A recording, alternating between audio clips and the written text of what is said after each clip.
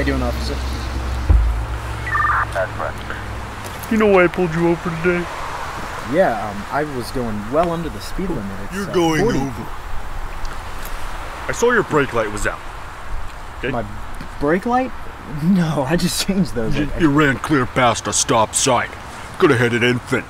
Little dog by the name of Peanut Butter. there, there's there hasn't been a stop sign for like four miles.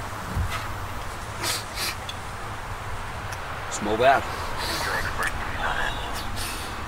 I smell it. Smells like Smell anything? alcohol. Yeah, I bet you like some of them narcotics too. Step out of the vehicle. I'm gonna have to strip searching, you know that now. Take, take your jacket off. 111 110. Now the pants. Now take it off. Wait a second. Ryan!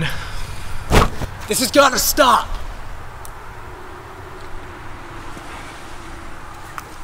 It's, It's Ryan. Ryan. He just wants to see his friends peanut.